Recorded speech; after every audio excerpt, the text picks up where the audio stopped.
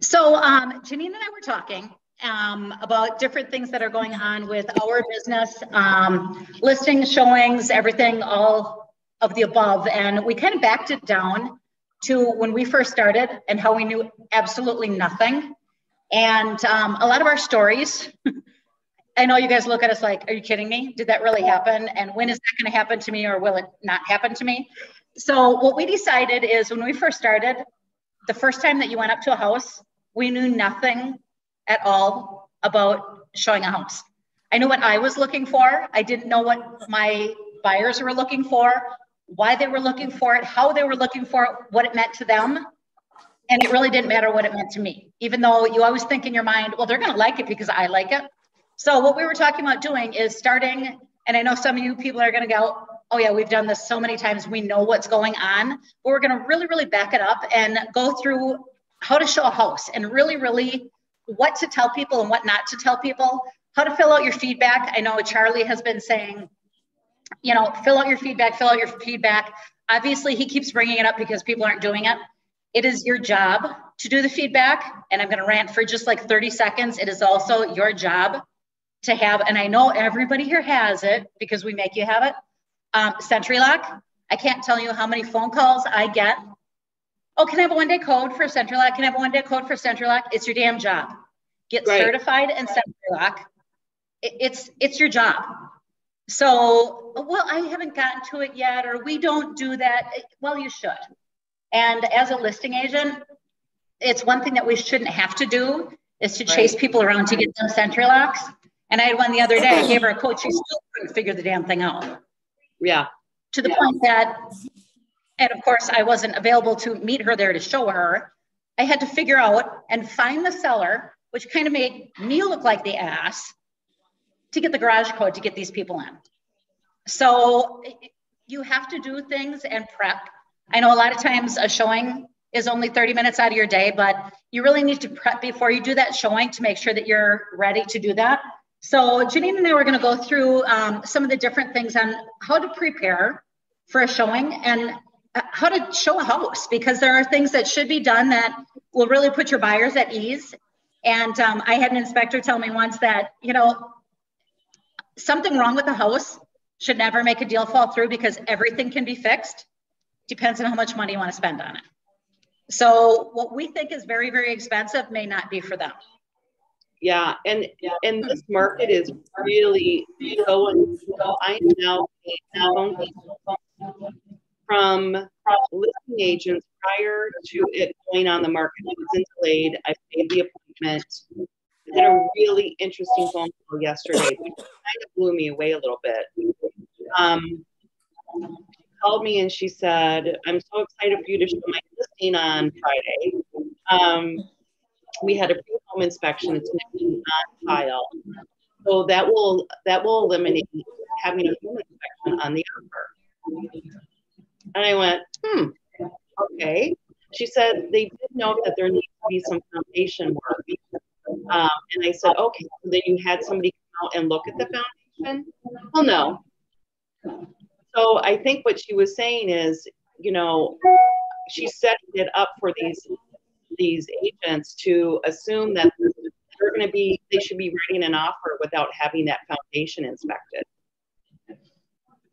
So Janine, how much does it cost to have a foundation fixed? It depends on, and that's the thing. I don't know. I mean, yeah. I, I said, did they measure the walls? And she said, well, no, but they look like they're maybe three quarters of an inch out of plumb. Okay, you guys, red flag. Um, if that were my listing and I did a pre-home inspection and that showed up, then the first thing I would do is have you know, a, a basement specialist come out and measure those walls. So then we have a report on file. Um, so already. So Janine, does it cost yeah. anything to have um, somebody come out and look at those basement walls no. and give an estimate? No, nothing. So nothing. I know out here we have Ein and I also like Gadish. So those are the two that I go between. Um, they're quite responsive because they know that we're a good company.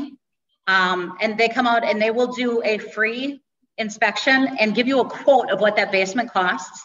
And if those sellers and the and the seller's agent already knows that there's a problem, this is something that you should really take that extra step and get that information for them. Right. I've seen, so, um, go ahead. Yeah, go, no, go ahead.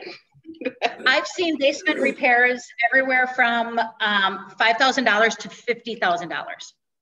So $5,000 we can negotiate. $50,000, I don't know about you, but I have a couple of new home buyers that I'm working with and they don't have the extra $50,000 to, fi to fix a basement.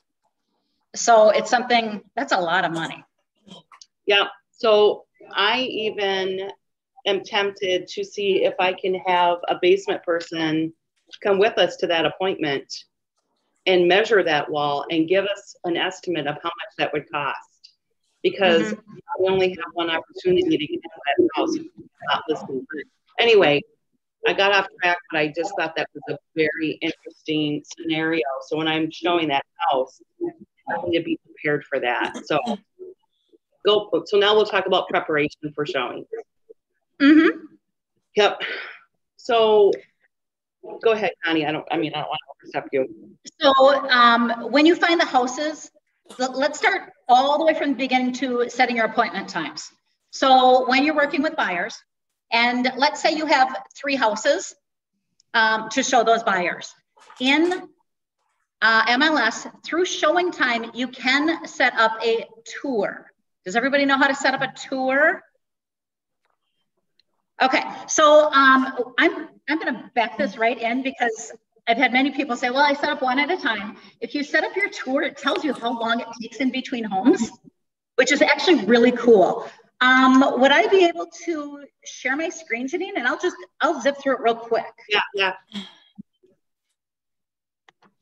Let me just pull up MLS here. Yeah, um, I had one of the newer agents um, show a couple of houses for me, and I said, "I'll just send you the tour." He says, "What is that? I've never seen it before." And unless if, yeah, it's just one of those things. So let me see. Um,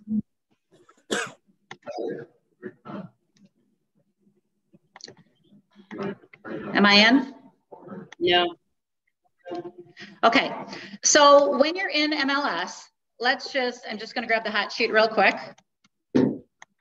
And this isn't going to be a tour that you're going to set up because I'm just going to take the top three properties. And what you'll do is, um, actually, I'm going to take the top two properties and pull this in here. Come on. See? Can you see at the MLS page that I'm on? Yeah. You're not sharing, Tony. Okay, I can't hit the share button. Yeah, my share was not uh, working either. Beautiful child. That picture. Let me try it one more time. Yeah, the share button is not coming in. Yeah. Okay, I can just walk you through right away. Um, when you set up, when you pull up an MLS page, there's a ShowingTime tab on the top. Click that ShowingTime tab. And on the very bottom of the ShowingTime page, when it opens up, there's a tab that says schedule a single showing or add to showing cart. When you click on add to showing cart, it brings up a calendar for your tour. So you click on the date, select your buyer's name, and hit OK. That listing that you were that you had open when you went into ShowingTime will automatically come in. There's a line that says appointment information. It says enter listing IDs. All you have to do is put in um, your MLS numbers. With those MLS numbers, when you hit go, it'll add to your tour. When you add to that tour, it tells you how many miles and how many minutes in between your showings.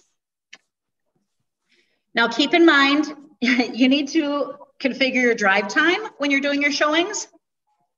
So I just took one in Brookfield and one in Wisconsin. It's telling me it's 22.6 miles in between your showings at 31 minutes. At this point in time, you can pick a time for your first showing, for your second showing, for your third showing. Once you schedule this, it'll automatically set up your showings for you and it'll put it on a map. And you can also share that. You can email it, you can print it to your buyers so they know where you're going. It's actually, it's, it's pretty slick. So um, do that before you set up your showings. Make sure you have enough time in between for drive time. Make sure you have enough time to show the properties. And sometimes people go through a property in 10 minutes. Sometimes they go through it in an hour.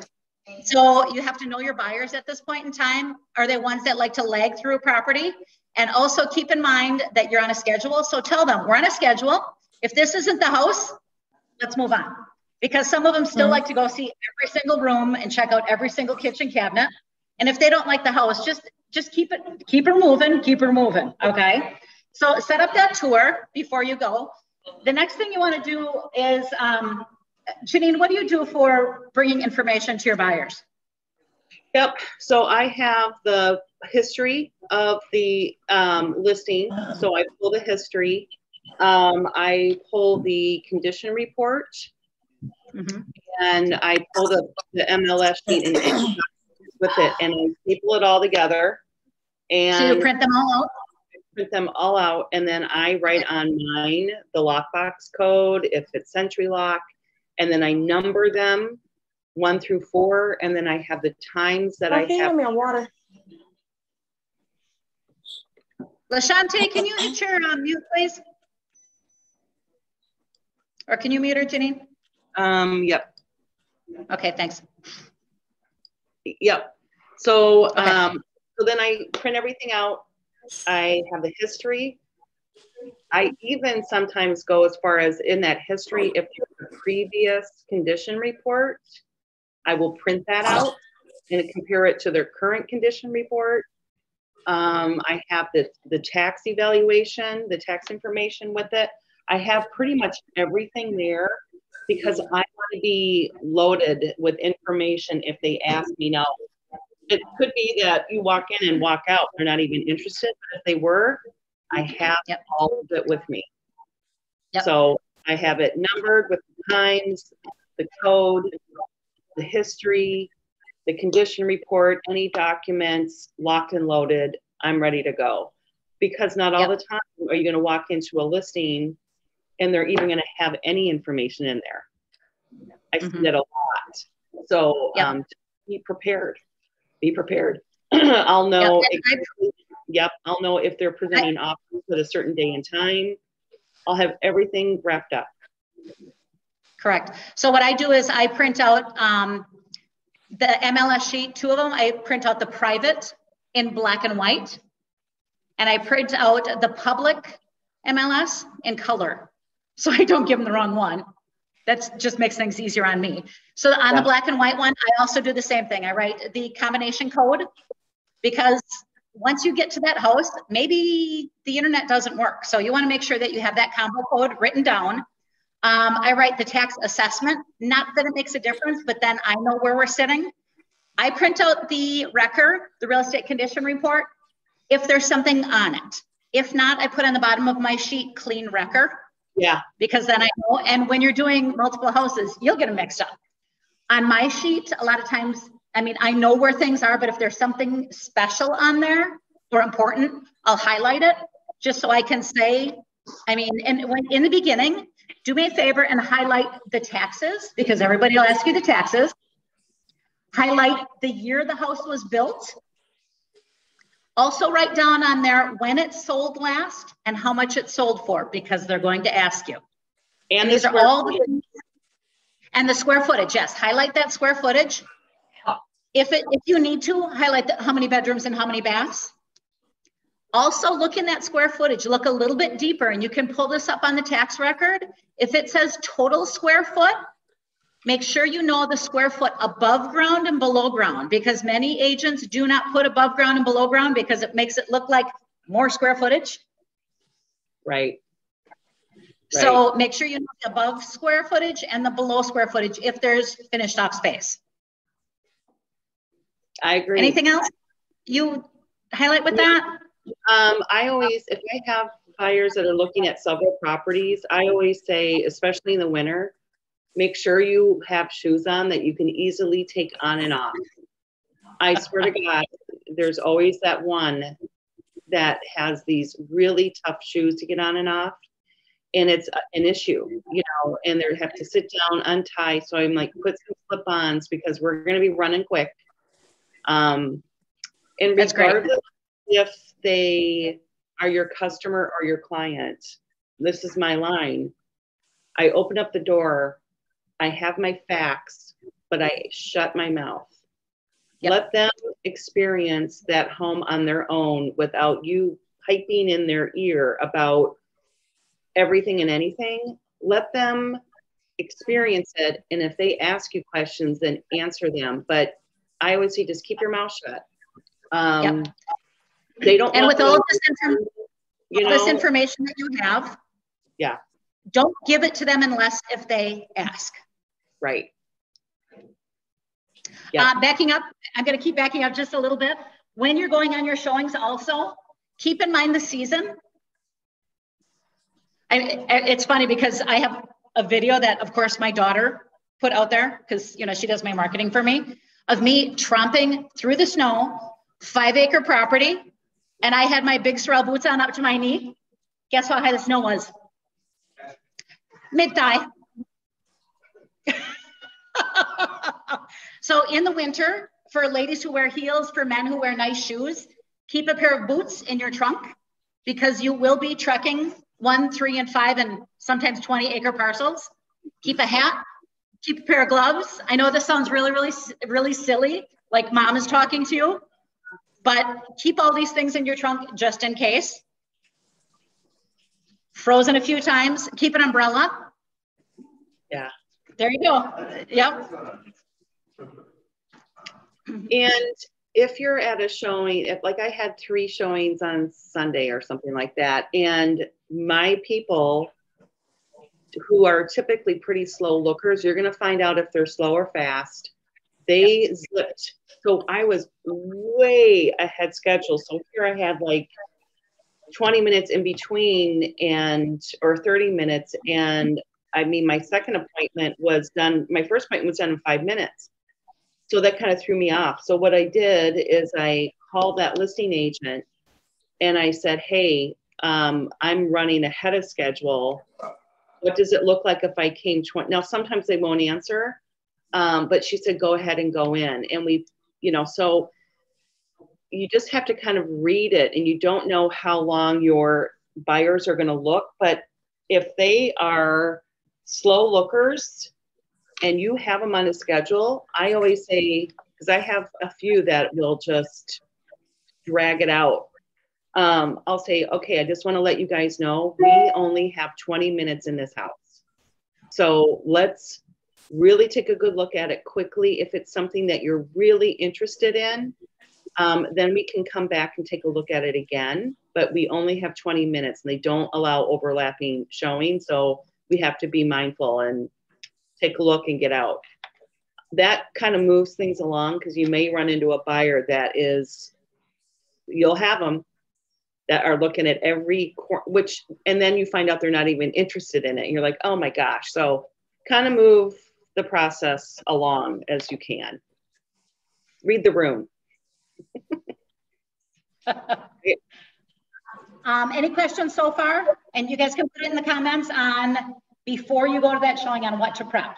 So make sure that you have in hand an MLS sheet with the facts, know the taxes, know the square footage, know the year the house was built, look at that real estate condition report and any supporting documents. If there are HOA um, papers for the subdivision, they will ask you if they can put up a pool. They'll ask you if they can put up a fence.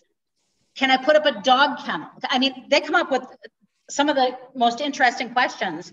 If there are HOA papers for the um, or association papers, surveys, pull that up and know what's going on. I mean, you can always say, I will look into that, but you look much better if you are prepared before going into this. Um, another thing that I have on my phone, I don't know if you guys are familiar with it, especially when you're out in the country, it's an app called On X Hunt. It's a hunting app, O N X H U N T. It's red with an X on it. Now you have to pay for it. I think it's $5 a month, $60 for the year, but I cannot tell you how many times I use that app. So here it is. Where are we? Do, do, do, do, do. Way on the bottom. Yeah. Okay. Cool. This is worth every cent you pay for it. So when you tap it, it tells you, and let me just pull it up real, real quick here. When you tap it, it brings up the map. See all those red lines? Yeah. These are the properties and the property lines. As you walk, you can walk right along those property lines. I love it. You know where the property is. Like I said, when you're when you're in the city, when you have your cute little square lots and everybody has a fence, it's okay. But when you're working and walking your your larger parcels out here, this is something that A makes you look cool, B gives you all the information you need. And actually, when you tap on it, it'll tell you who owns the property. So you can see if you're working larger properties or, or farm properties, if that farmer has split the property, if he owns the parcel next to it, if there's an option to maybe purchase that. I mean, you have to have all these things going on in your mind. So, and this is the one thing that we wanted to show you guys that when you on a property, you always have to be thinking who owns the property next door? if I want to expand, could I buy the neighbor's property? Well, if it's the same owner, there's a pretty darn good possibility. Or if you look in there and it's in an estate or in a trust, you know, you can always contact them and move forward. That's, I love that. Oh, it's an amazing, and um, hunting guys think you're the coolest when you pull it up because yeah. they have that app. yeah, it's cool. And, and what this is all doing is it's, it's building um, building confidence in your buyers that you know what you're doing. Even though you guys are all under five, most of you are under five contracts. This gives you, you know, that extra ammunition that you know what you're what you're doing and what you're talking about. So Connie, what if you are asked to show properties um, for another agent? What is that person's responsibility as a showing agent? Okay, so um, showing other properties for other agents, keep in mind that you are not the buyer's agent in that point in time. So it's just like if you did not have a buyer agency. You have to keep your mouth shut. Always refer back to, you know, Janine, Janine can get back to you on that. Take notes. Always have a pen in your hand. On the back side of that MLS sheet, I make notes all the time.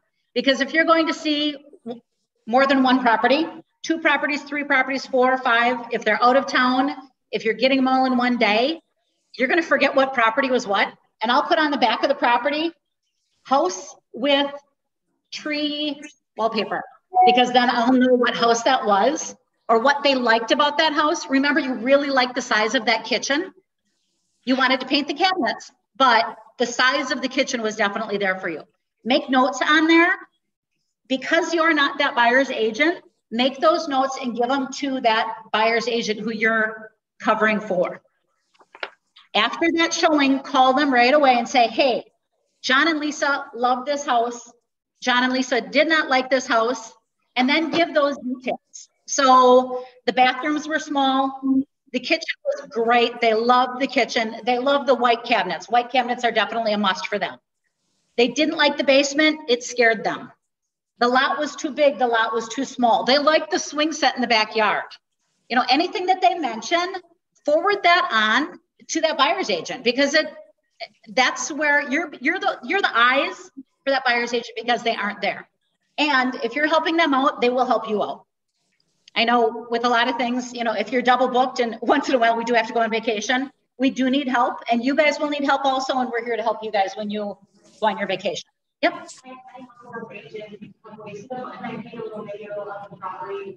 Yeah.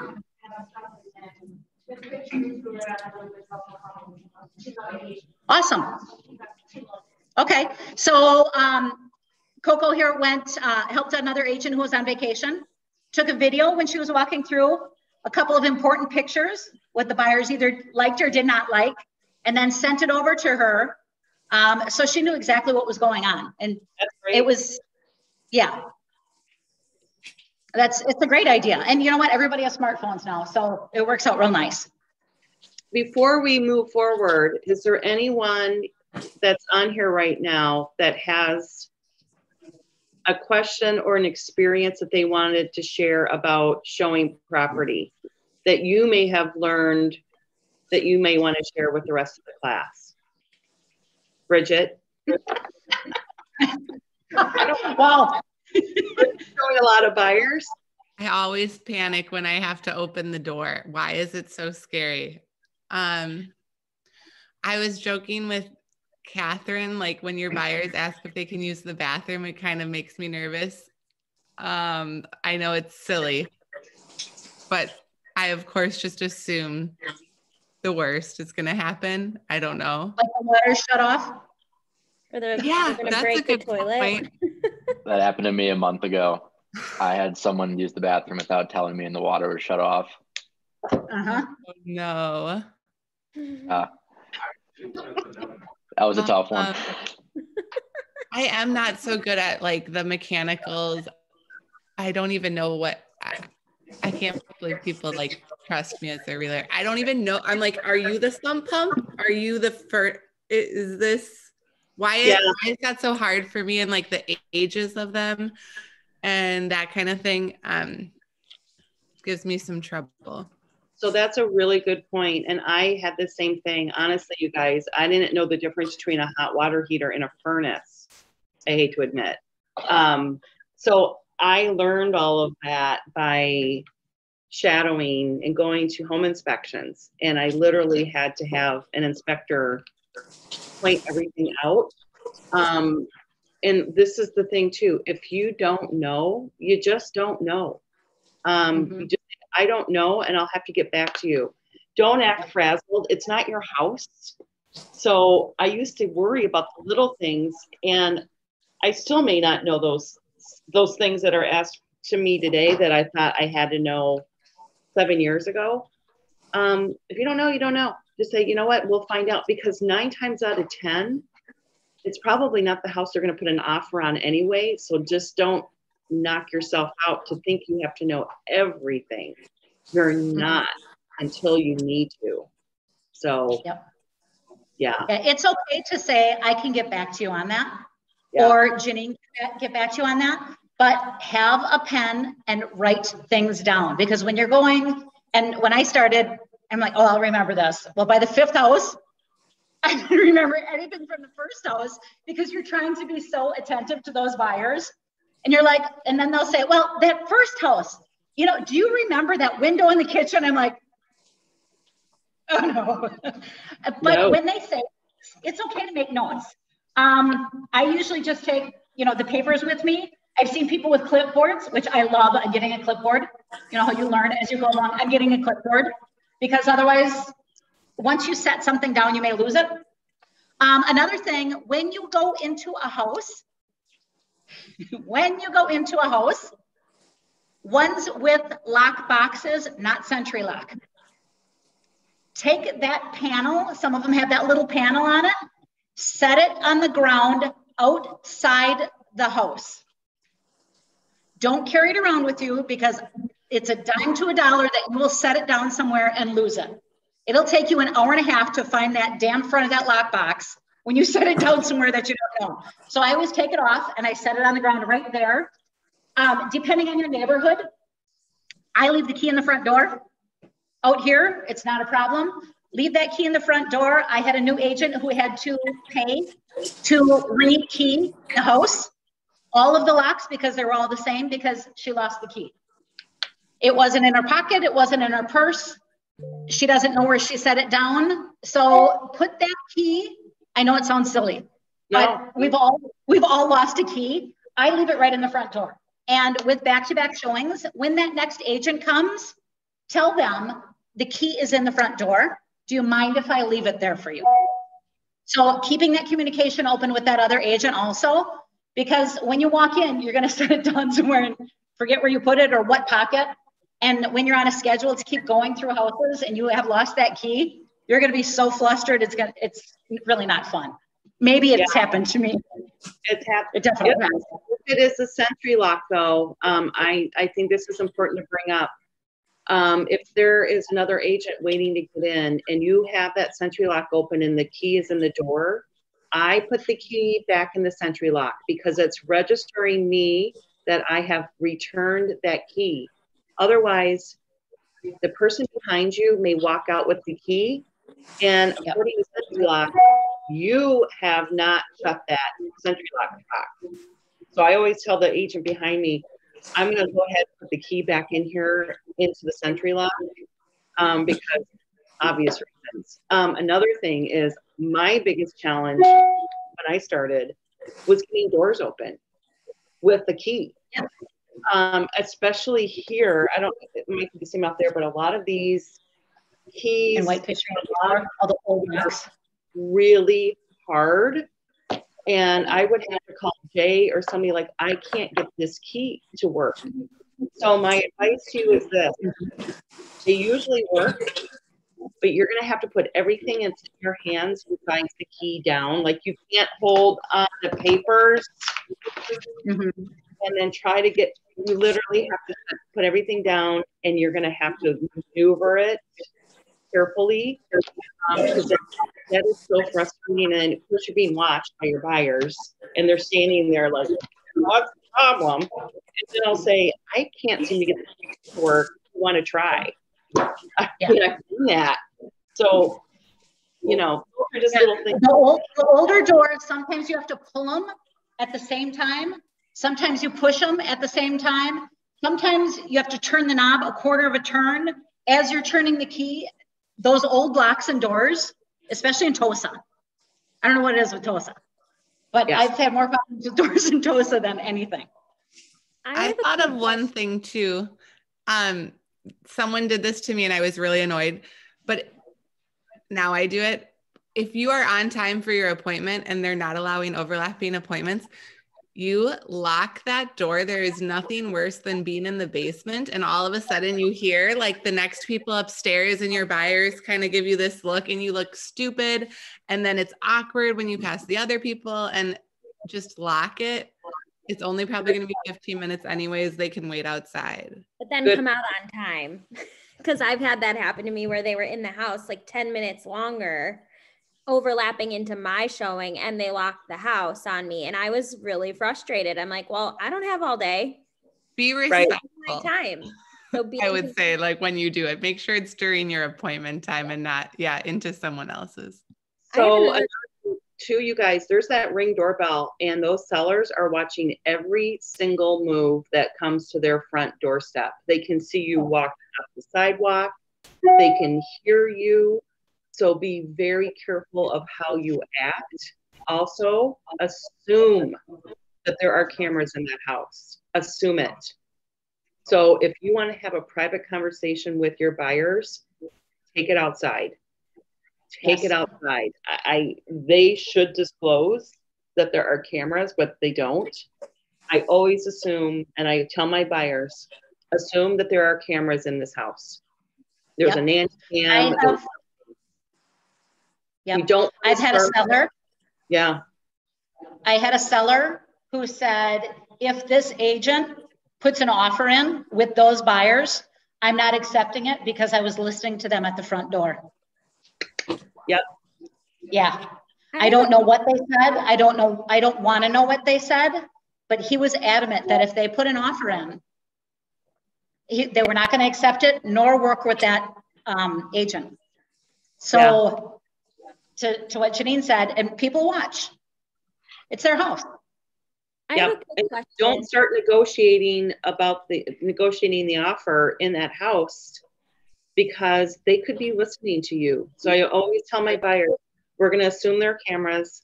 If there's a ring bell, we have to be very careful. We're going to discuss anything out by the car and leave it at that. Yeah.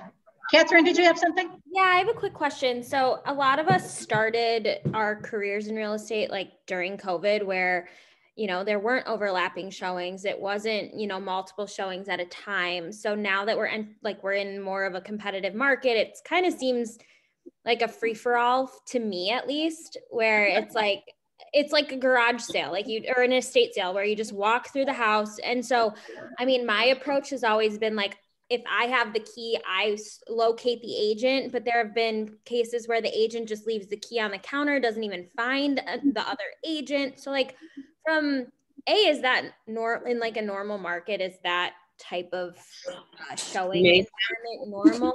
And two, what is the best, like, for our fiduciary, what is the best practice for us? And like handing off that key do we need a business card? Do we need to validate like who they who this agent is? You know i just feel like there's just a level of security when there are multiple showings going on at once that just is not happening right now that really concerns me from a if i were the seller's list or if i were the listing agent but also as a buyer's agent you know it's just kind of a free for all so what is the best practice and like is this normal? If i take key out of the lockbox, then I put the key back in the lockbox. okay Plain and simple. If I'm handing someone, if it's not an, a SentriLock, I want their business card, and I want to know who they who they are. I don't trust. I mean, I think you know, in my little tight community, after a while, you begin to know who these people are. But um, I don't trust. I don't trust anyone. I am empowered with this key, and I'm you know I got to take care of it. As far as overlapping showings, we didn't really have that going on pre-COVID anyway here. Um, it is one at a time. You scheduled a private showing, and it's your time to show it. There are always going to be those incidences, though, where you walk in and you have these scheduled times, and it is made. What I tell my buyers is keep your mouth shut honestly don't have any opinions. Let's go through the property together.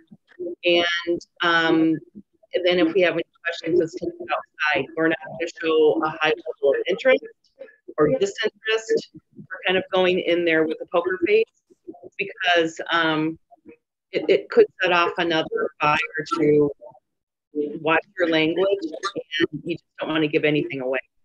It sounds ridiculous, but um, it's going to be more and more of that as things start to subside with the pandemic and then the lack of inventory. I think we're going to see more of an overlap. But yeah, it's we have your time from 12 to 12 30. That's your time. Janine's, yeah. Janine, it's hard to hear you. You're really echoing. Yeah. Oh, okay. Because somebody, I'm going to put somebody on mute. There was somebody in the background. Okay. Is that better? There you go. That's better. Maybe you're a yeah. little bit too far away. We want to see your face a little closer. Okay. Oh, there you go. Much better.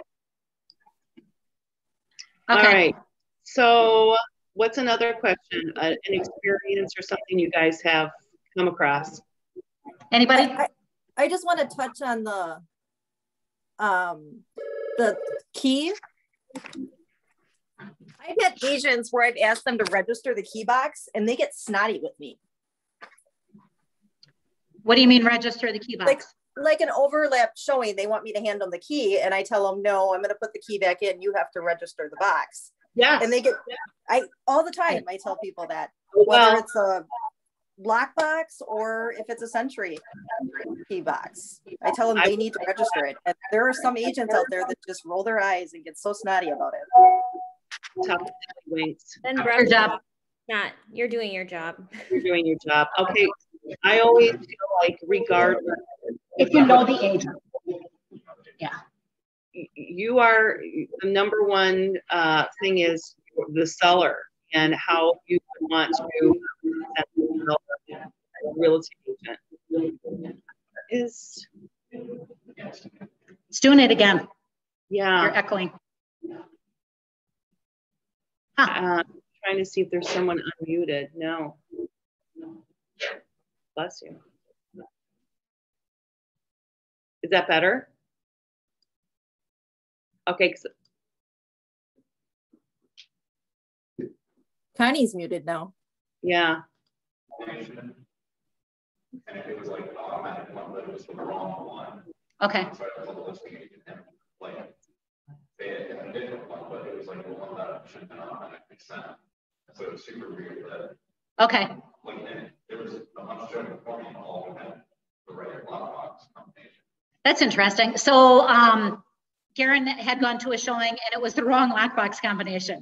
So he called the listing agent and got the right lockbox.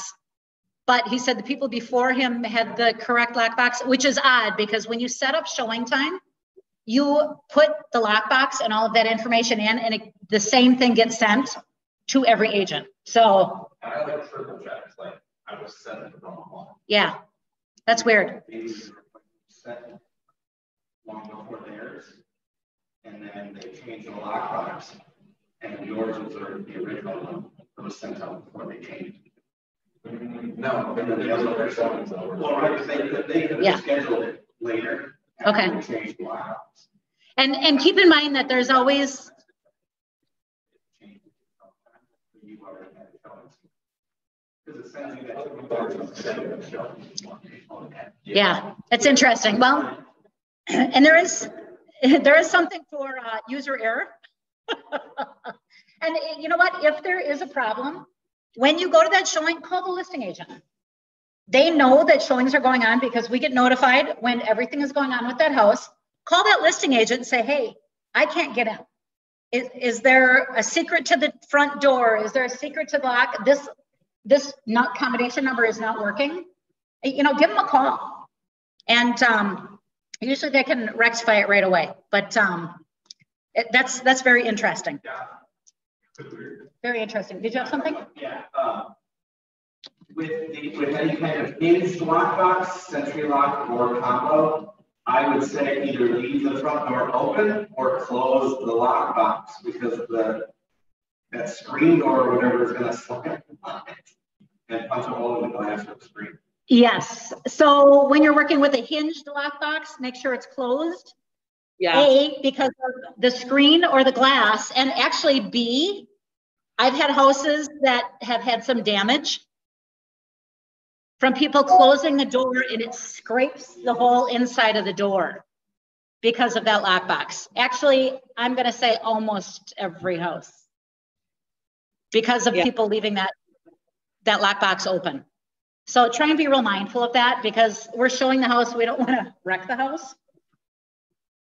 And, and see if you, if you've not shown a house yet, see if you can practice on a SentriLock that's in the office and Mhm. practice with the lockbox as well. Um, practice. You don't want to practice in front of your customers or clients. And there's all kinds of different lock boxes out there. So there's the SentriLock. There's the old school, I call it the high school combination. Turn it to the right three times, turn it to the left two times, and then back over. I hate those. Same. Um, there's the ones that have the numbers straight up and down, that you have to line up the numbers, or sometimes they're sideways. There's the push button ones. You know, you have to push in the little, I don't I even don't- know how old. Push the little buttons in, and what else is there? Is there anything else? There's the sure there alpha, are. there's the numeral, there's the, um, the letters. Um, I was gonna say something that happened to me, which I thought about this class and I was chuckling Sunday.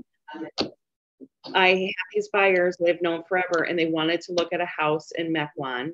And I pulled it up, I looked at it, I made the appointment. Um, then I met them at that house and I'm going down into the cul-de-sac. And I'm like, oh, that's weird. I didn't know there was two houses for sale on this cul-de-sac. Uh, okay. And then I looked and then I panicked. I looked at what they asked to see versus the one I made the appointment at. I made the appointment at the wrong house. So the one that they wanted to see was already under contract. I called them and I said, I made a mistake. And they kind of giggled and we went to look at it anyway. But so be careful. I've walked in on I've walked into the wrong house. It was a Oh. SentriLock. Yep. And it was right down the street. And I'm like, oh, a for sale sign. Lovely. Here we are. And you know, you work on autopilot sometimes when you have multiple showings Yep. in a row. So I'm like in the house waiting for the buyers, and they text me like, "Where are you?" like, shit, I did it. Yeah. again. I, Oh, I have gone to the wrong house also. Same thing, Catherine. Yeah. They were like four away, and you are, you're on autopilot thinking, okay, this is what's going on. This is this house. And I walked in, I'm like, boy, this doesn't look anything like the pictures. totally in the wrong house. And it was a SentriLock, so SentriLock opens anything. So you know what? It happens to everybody. And if somebody says they've never done it, they're lying. I'm going to tell you right now, they're They're not lying. showing enough houses then. Oh Yeah. yeah, then they're not, they don't work if they haven't ever done it. so don't feel bad. Shake it off. Kind of make a joke about it and say, you know, with everything moving so fast, Yeah. um, I, I made a mistake and own up to it and drop it. Keep it in your heart and move on. Don't dwell on it. Don't, just move on. Most buyers laugh and they're like, ha ha ha ha. ha. Yeah. Where are you? I don't know. I have just another thing to add. I thought of. Yes. You know, when you have the buyers who watch way too much HGTV and know that their budget doesn't allow for, well, we'll just we'll knock that wall and then that wall and that wall. And all of a sudden they're knocking all the walls. I think just like kind of being that voice of reason to say, like, it sounds like the bones of this house maybe aren't right. And you know, maybe if you were only knocking one wall down, I could see, but this could become a very expensive home if this is not what you're looking for, kind of thing. I, I think you have to tell them that what you see on HGTV is just not what actually happens in real life. I also You know, think some people get so A lot of people that buy houses, they knock all the walls down inside. So I, I kind of keep my mouth shut. Um, you know, you guys can do whatever you want when you buy the house. Um, they're going to ask you, well, how much do you think that's going to cost? I really don't know. It depends if it's a supporting wall or not. You know. Connie. Yep. is coming from you. If I mute you, I'm gonna mute you what? Now it's better, isn't it? Yeah. I have a quick question. Yes. Do you know if there's a website that where we could actually take a look at surveys of like the uh, particular properties? Only if they're on site. If they're in MLS, you can go to the village and see if they have a survey, but um, there, i- I don't believe that there is a site per se. Okay, thank you, Janine. You're welcome, honey. Who else? So um, Charles put in the um, chat section, who's responsible for procuring damages due to lock boxes? Janine? Um, well, ultimately, it's gonna end up on the listing agent's hands, I would imagine. We've had a few, how are you gonna? How are you going to, uh, determine if it was what agent, and do you really want to get into that conversation? Probably not, especially if you might be writing on their property tomorrow and you're in a competitive situation. You're not gonna battle over a lockbox. I mean, we don't. We Yeah. take ownership of it. Good question. Yep. Um, here's a question. Um, oh, garage door getting open. This is off subject, but this is something that's really good from somebody who has a listing, so they're a newer agent. Do I have to send offers over as they are received? I told the sellers we would sit down on Sunday and review, review them. Um, that's a really good question. So, and it's good for buyer agents to know this as well. I, it depends on who the audience is and what the situation is. If I'll have a discussion with them beforehand and say, we're gonna probably get these offers before the four o'clock on Sunday deadline. Um, I can recap them as they come in and send them over to you. And then collectively at Sunday at four o'clock, we can review them as a whole and I'll have it on a spreadsheet. I kind of like to do it that way because if there's something in that offer that I send over prior to review time that the sellers are questioning me about, um, I can maybe go back to that buyer's agent and say, hey, I, we have your offer and I'm just wondering, is it possible that um, you change your closing date? It kind of makes things easier for when that four o'clock deadline comes in. I, I, I don't know them, but they may say, you know what, Bridget, I'm, uh, we're gonna be on vacation and just send everything over at once and we can re review them then. Um, but I, I like to send them over as they come and I recap them. How about you, Connie? I do too. I, um, the one thing I do not do is tell the seller we are expecting an offer. Never, ever say anything until you have it in hand. It has happened to me numerous times that agents will say, Oh, yeah, I'm writing an offer. It'll be over by tonight. And you get so excited that you want to tell the seller, Yeah, I've got an offer coming. Don't say anything because it has happened to me numerous times that, Oh, yeah, they changed their mind. Because I'll call and say, I just want to confirm that you didn't send it because I have not received it. You said you were sending it over. Oh, yeah, they changed their mind. Now, if you already told that seller, uh, some of them already have the money spent. so until it's in hand, never say, they're laughing. I'm not kidding. got a check, man. I got my new car, I got my vacation, I, you know, don't say anything until it is in hand. Exactly. um, I send that day, if I'm expect if I'm expecting multiples or if I'm expecting one at the end of the day, I send it over with a recap. So I do an attachment and I'll and I just put down all the important things.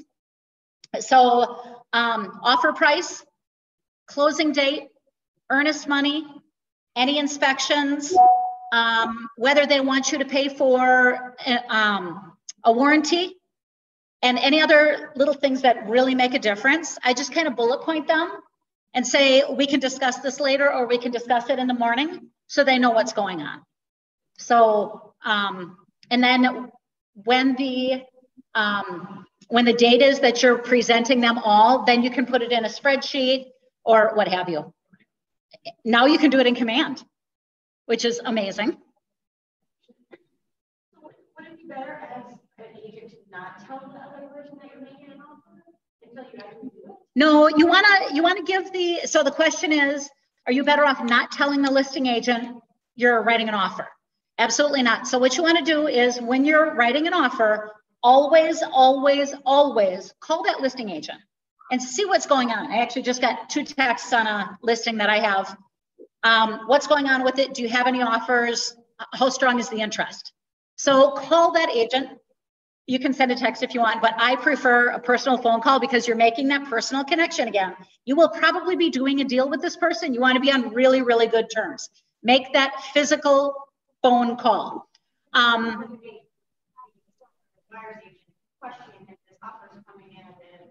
Yes. So as a buyer's agent, you're going to say, Hey, Janine, it's Connie. I'm looking at your 123 Main Street. The showing went really, really well today. Do you have any offers or any other interest?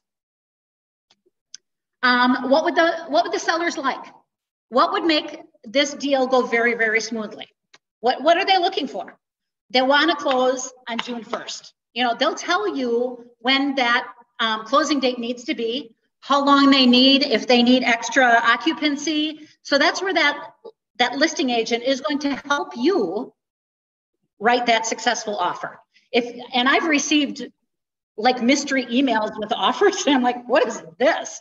And it is nothing close to what the seller needs, wants, desires. So that one, I mean, you just wasted your time because we need to make that transaction good on both sides and make it good for the sellers as well as the buyers. So call and say, I will let you know when I send this over, my buyers are really considering it, or we are writing out, whatever the case may be.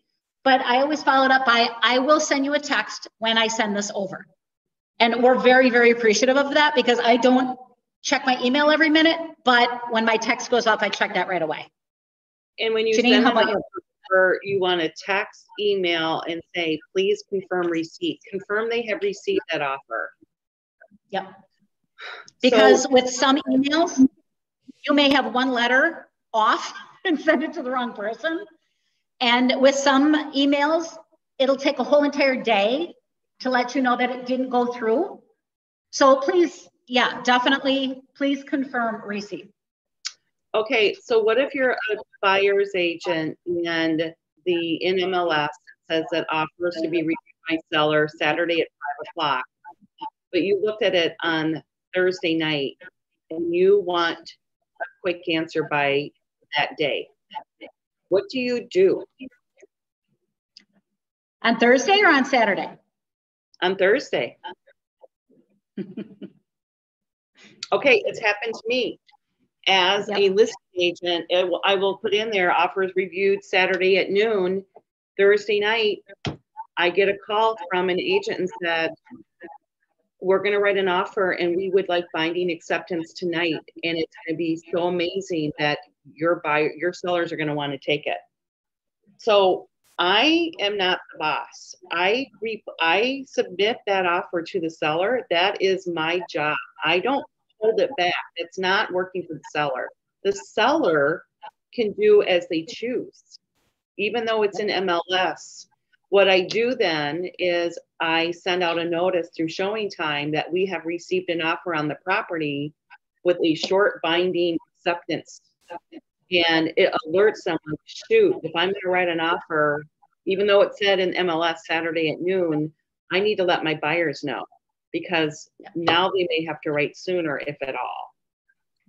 I don't love it but typically that offer that comes through is so ridiculous that you know the sellers may decide you know what? We're done. Yep. So janine yep when you send out that message through MLS that you got an offer and it's amazing and this and that, and that only goes to the people that have booked showings, correct? It's everyone that has shown the property. Right. You, yep. And then I call every single person that is going to show the property and let them know. And it's okay. It's not fun. I mean, agents upset. Um, but you have to do your job.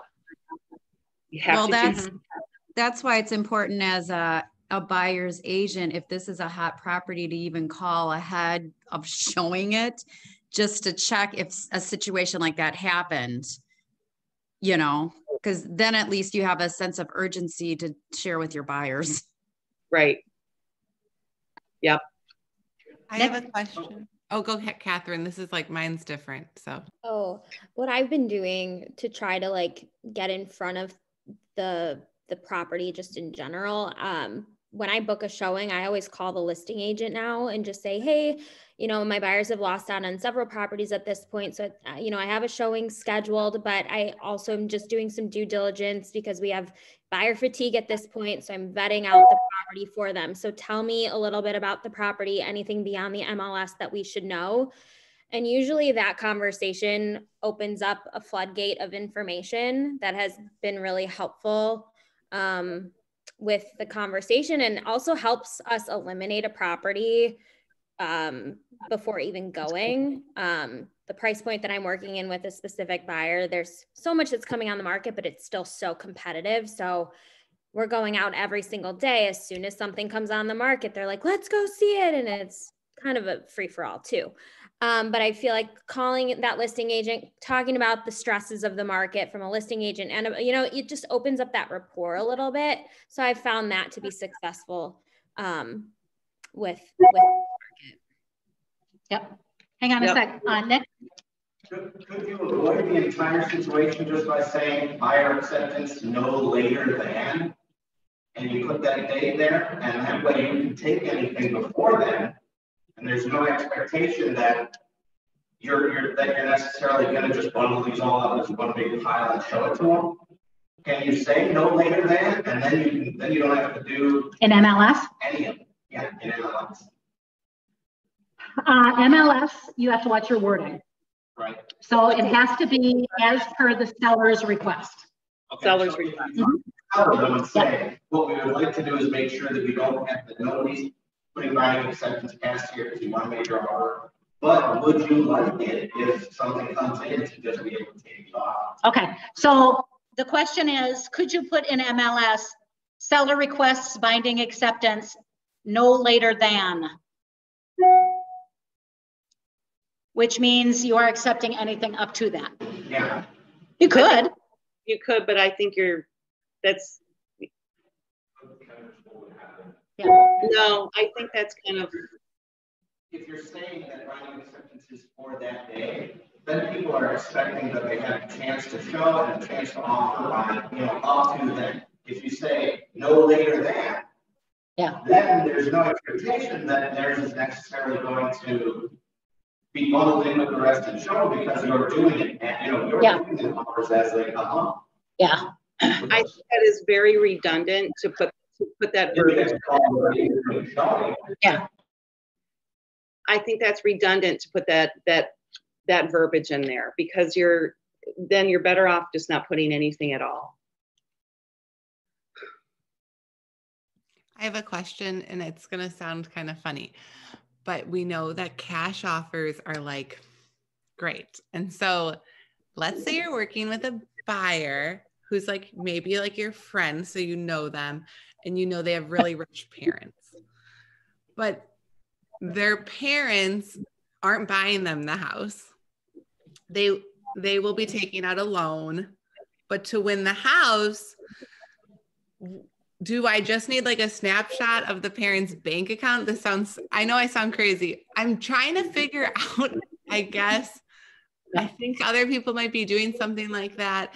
If you're confident, if the lender is confident, we know they're going to have enough time and a loan's going to go through if we put in this cash offer and do the loan.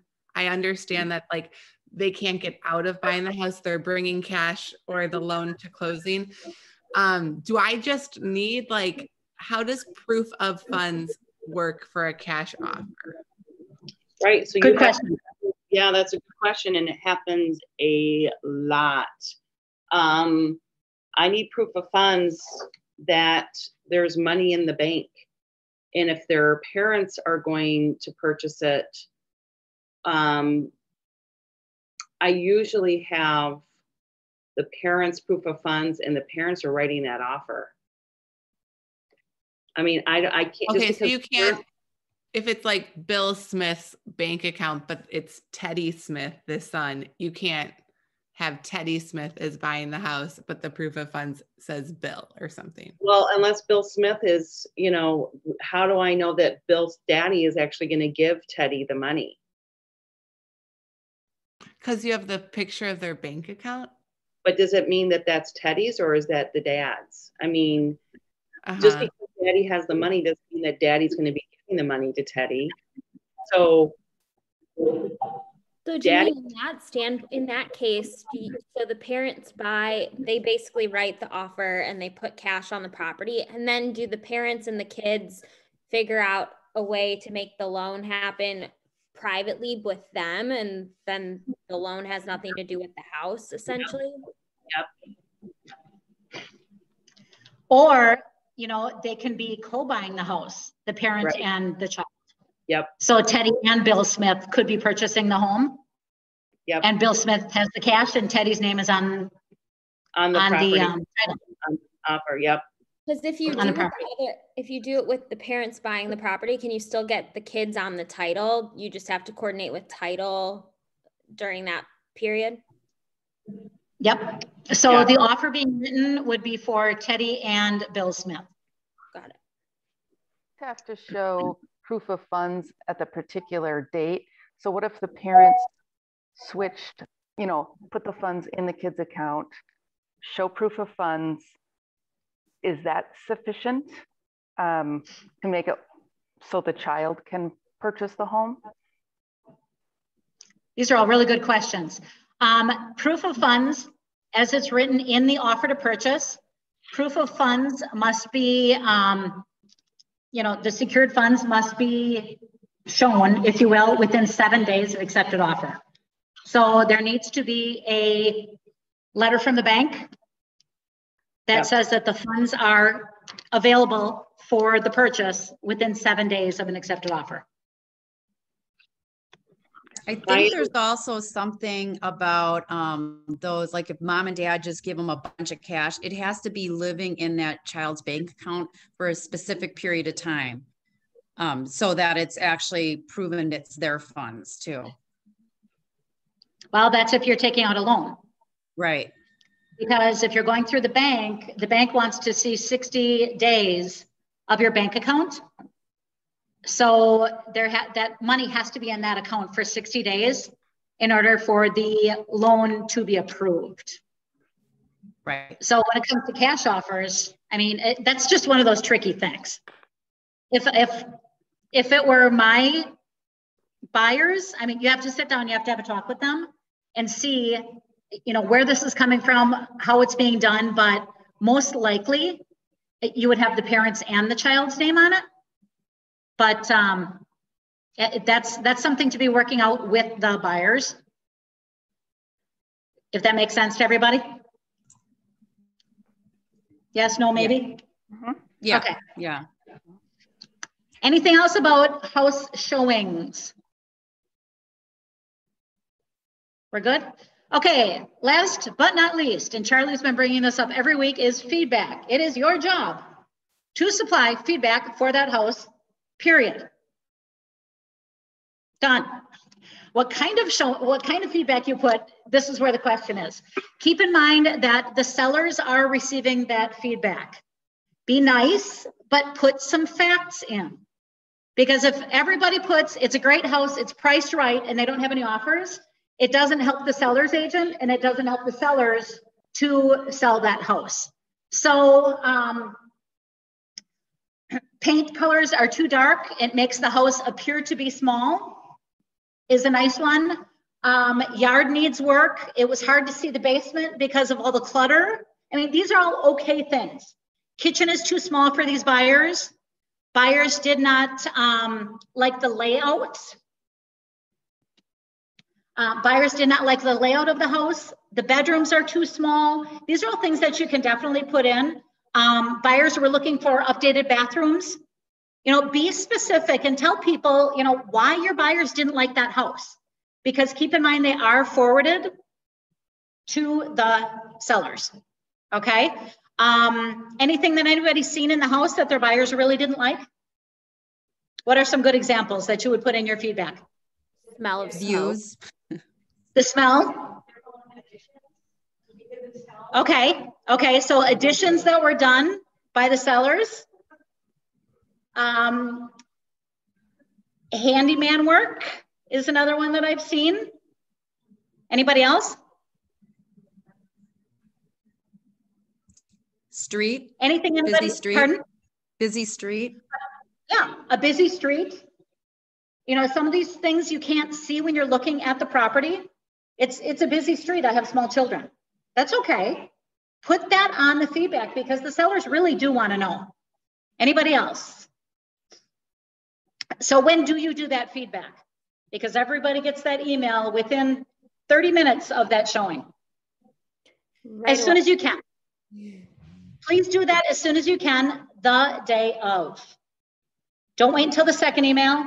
Don't wait until the third email. And I've had people who never ever give feedback, and I personally called them and they said, We are so busy. And I said, I understand, but we owe it to my sellers to get feedback. So please do that feedback within the day of your showing and keep in mind that it does go to the sellers. Put in things that, you know, maybe they could improve.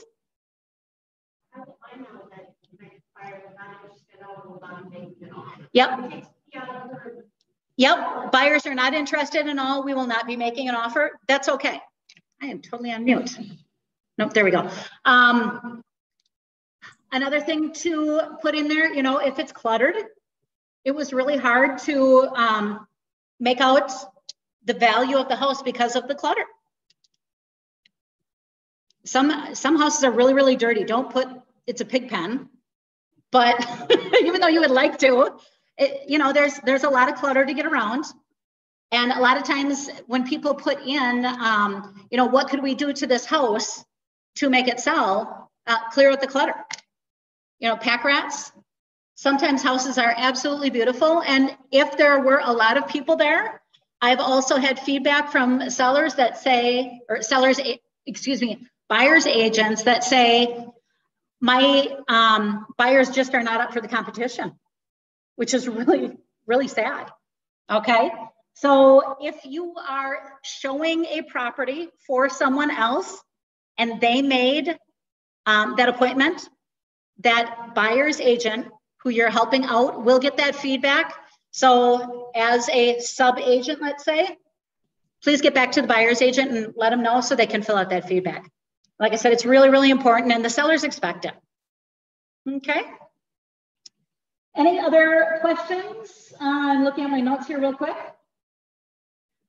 Any other questions about showing a house?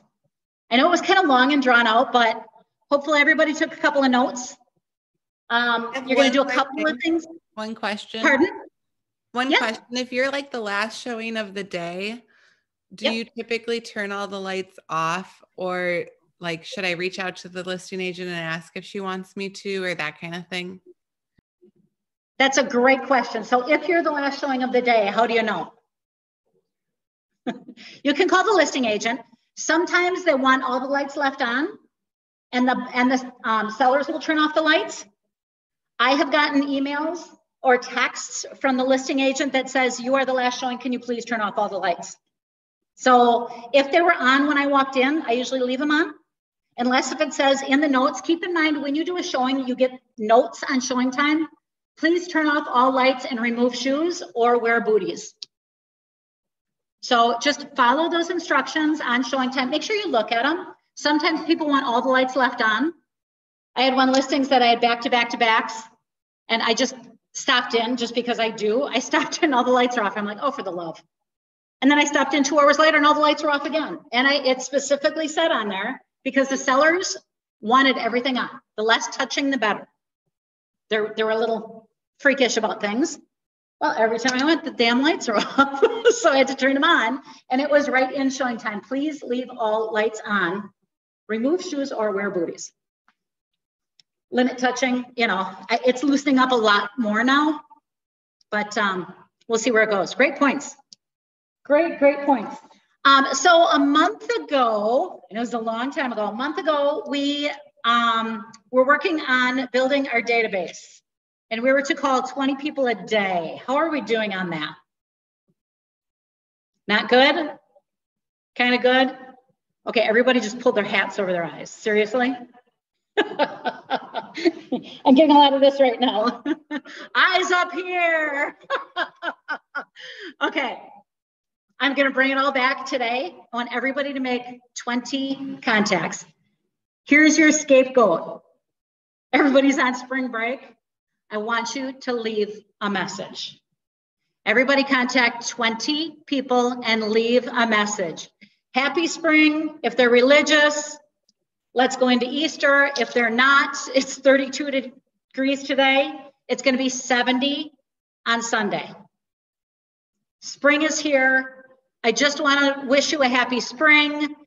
Tulips are coming up. Let me know if your neighbor wants to sell their house. Make it simple, make it easy, leave a message.